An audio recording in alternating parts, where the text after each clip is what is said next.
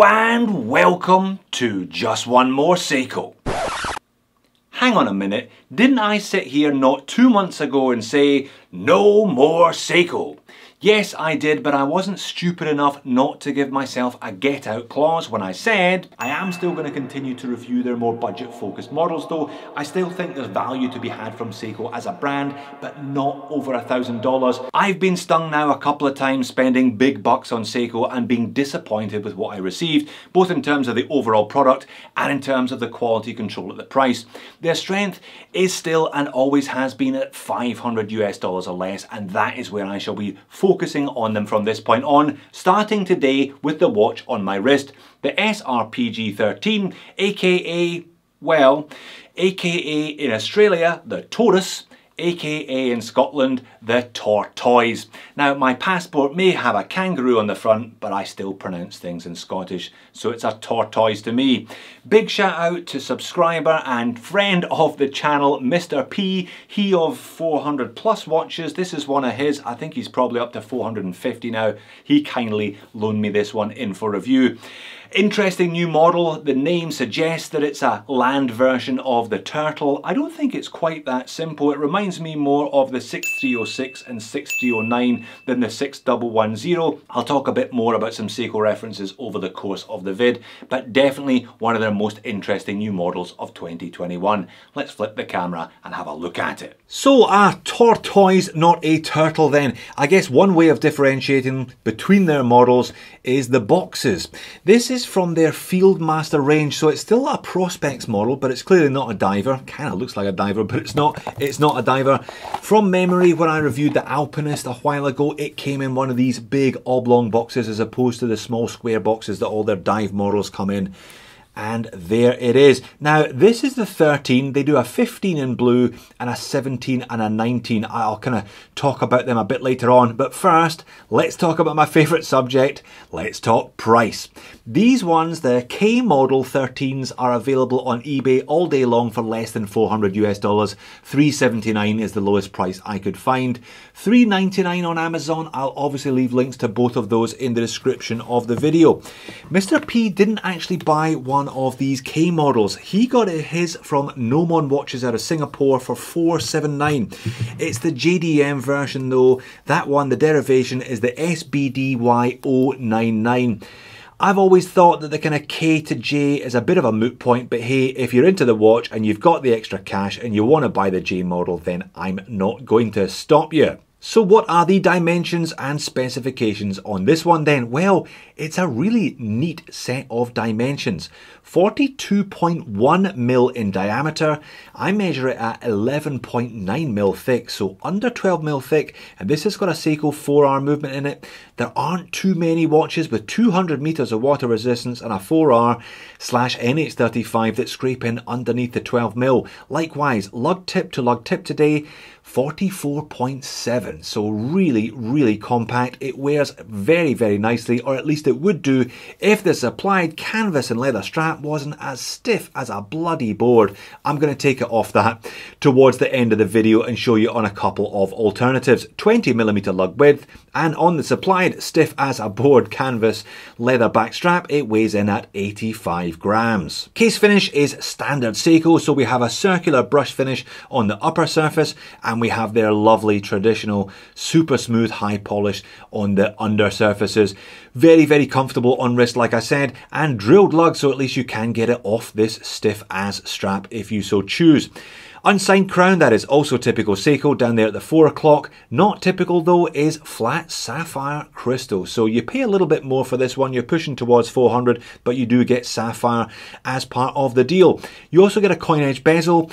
It is a compass bezel though, being bi-directional rather than unidirectional, and there is an anodized bicolor aluminium bezel insert in there. I will talk a bit more about that later on. So the strap then, look, I can't fault it for quality. I think tonally it is spot on. This watch tonally is just perfect. They've got everything so nicely matched. Stitching's great. It's got that leather reinforced section. Nothing worse than a decent canvas and leather strap, canvas and cast strap, and you get those perforations when the canvas section So that's going to stop that doing it. It's padded at the top, it's got that cross stitching to hold it all together, double retainers and nice Seiko stamped hardware, brushed to match that upper surface, but it's just so stiff. It's kind of like rawhide, you want to sit there and chew it for a couple of hours a day until it eventually softens up. I don't know how many people are going to be bothered with this one though, I think it's a long-term project to get it to soften up. Much like Gary's Grand Seiko that I reviewed a couple of months ago, he ditched it for a similarly toned strap. I don't quite know what they're doing making them so stiff. Long term, great. Short term, medium term, not so great. The 17 and 19 models, though, are available on leather, and there are no shortage of options for you. I'm going to put it on a leather and a Marine Nationale to show you in a bit. So 200 meters of water resistance and a nicely grippy big screw down crown, but no dive time bezel today. We have a bi-directional compass bezel instead. Look, you can still use this one for timing eggs or parking meters or whatever it is you time time, but you're going to have to get used to looking at the bezel in three and three quarter and seven and a half minute chunks rather than five minute and minute chunks. It's not quite as easy, but it's certainly doable. What you can do with this though is get a direction if you're out and you're lost in the wilderness based on the bezel and the direction of the sun. In brief, if you are lost in the wilderness and you need to use this compass bezel to find north to help you get to civilization, if you're in the northern hemisphere and the time is set accurately on your watch and it's not set to some daylight saving time, you point the hour hand at the sun and then you find the difference between the hour hand and the 12 o'clock marker and that is south, roughly. Therefore, you know where north is. If you're in the southern hemisphere, though, it is slightly different. You point the 12 o'clock index to the sun, you then find the difference between the hour marker, the hour hand rather, and the 12 o'clock marker, and that is north, and you therefore find south appropriately. How many people are going to get lost in the wilderness with this one? I'm not sure. Lost in your local suburb, perhaps that is more likely. They have added some emergency markers on the back here, kind of ground to air emergency signal code. If you want to assemble some twigs or something and alert the local helicopter to help you, yeah, that's all a bit complicated in my eyes. Just write help in giant letters on the ground. That would probably do the trick just as well. Alright, let's take it outside and have a look at the dial and hands. And like I said, I think tonally the colours on this 13 model just work perfectly. Green strap matches with the green top half of the compass bezel. The black bottom half of the compass bezel matches in nicely with the rehaut, the chapter ring. Now the dial and hands, I wouldn't call them kind of green. It's almost like a pale green beige. Yeah, it just works for me overall very, very nicely, I think. The blue one, similarly nicely color matched, but obviously in blue rather than in green. So these indexes, I think, are applied. They're not embossed. I'll show you some super close up in a minute or two, but I think they look applied. You've got that double split truncated triangle up there at 12 larger batons at the 3, the 6 and 9 pointing into the centre and there's the little compass marks pointing into the pinion there as well. Applied rectangular indices at the other hour markers. Usual printed markers on that rehaut with larger ones at the 5s. The Seiko logo is applied today. The Prospex X printed beneath the pinion, automatic and 20 bar, and made in Japan because this is the JDM SBDY 099 as discussed. Now, date window. This one has the crown at 4 or more specifically at about 10 past 4 and they've put the date in there at the 4.30. I know why they've done it. They've done it to maintain the integrity of those indices, but it will be in the moans and niggles section later on. Now zoomed in even closer to have a look at the dial and hands today, you can see what I mean. Yeah, I think those indices are applied as opposed to pushed through from the back. And I like the handset a lot. Large arrowhead hour hand, slightly flared minute hand, both of which have slight syringe tips to them. Super thin needle second hand with a lollipop counterbalance and they're in gunmetal silver. Again, I think that suits the overall tones of this one perfectly. Nice to see Seiko applying the logo on a watch for under 400 bucks as well. And on wrist, I think it looks great. I've got a 7 inch wrist for your reference, and this 42mm size fits me perfectly. Super compact, sub 45 lug to lug. This is going to fit pretty much anybody, I think. 20mm lug width help with that as well. But the strap, I've been trying my best for Mr. P. I've been flexing this one back and forth, trying to get it to fit a little bit better. But yeah, it's stiff. It's going to be a long-term project. If you do want to live with one of these straps, you're going to have to put the time in, put the hours in, wrap it round a beer bottle when it's not on your wrist, and try and get it to force a little bit of flex in there. Overhead shot legibility isn't bad considering those hands are kind of silver gunmetal as mentioned, and they're not all that different from the colour of the dial itself. Maybe some of the other colourways would be more legible, but as it is, it's still fine. And when you get this one outside, Sapphire, a welcome addition from Seiko at this price. Not sure how much anti-reflective undercoating is on it, to be honest though, as you can see. Definitely a bit of bounce back when I moved the watch around. Still looks pretty good though. And that's it on wrist. Yeah, stiff strap aside, it wears very, very nicely. I think it wears like a small Willard, perhaps even a slim mini Turtle. Those are the two most comparable models, and it wears somewhere in between those two, I think.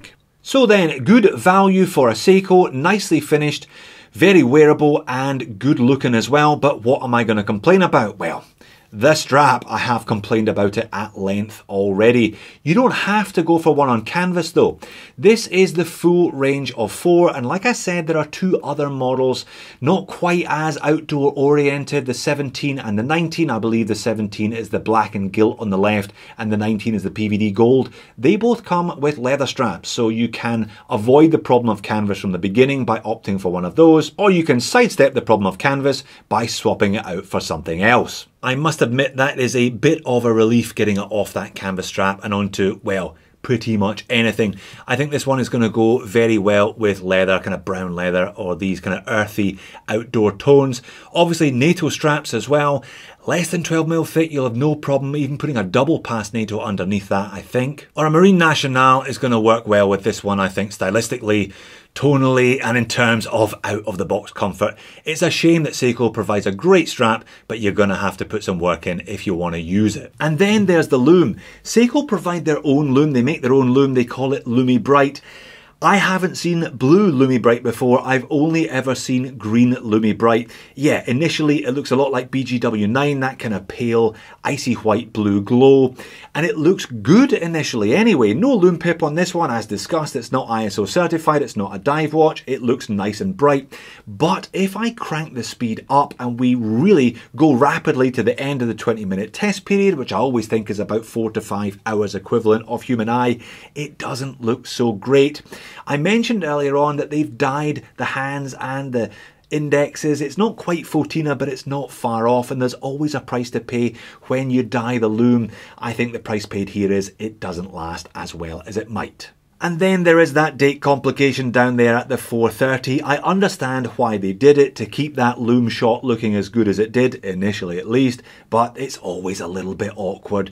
I much prefer either 3 or 6, and to be honest, I would probably have done with either of those and losing one of those big 4 batons. But hey, not my decision to make, it was Seiko's. It's not a deal breaker, but it's just not as neat as it could have been. Overall, I like it. I think it's well made, well spec, well priced, and a welcome addition to the Seiko lineup for under 400 USD, assuming you're okay with going for the K model. There's an argument that the compass bezel is no more useless or useful than a dive time bezel for most people who don't take their watches diving. And the size is great as well. There's an argument also that this one is a half price Willard. If you're alright with the fact that it's got a 4R rather than a 6R, and you were looking at one of the Willards on the rubber strap anyway, why not pick up one of these instead, save yourself a ton of cash and just buy a rubber strap from Strapcode or Uncle Seiko or something. Yeah, you'd be getting a lot of watch for your money if you did that, whereas I don't think you get an awful lot of watch for your money with the Willard, and I know I bought one and sold it pretty swiftly. And the size is also great. The Mini Turtle is still my pick for people with small wrists, but this one certainly another Seiko to choose from. So there you have it, well done for making it all the way to this point in the video. If you're a fan of Seiko, why not check out my review of their King Turtle. I reckon this one ticks a lot of boxes at under 500 or the Mini Turtle, undoubtedly the best Seiko you can buy if you have small wrists. Thanks for watching, I'll see you soon.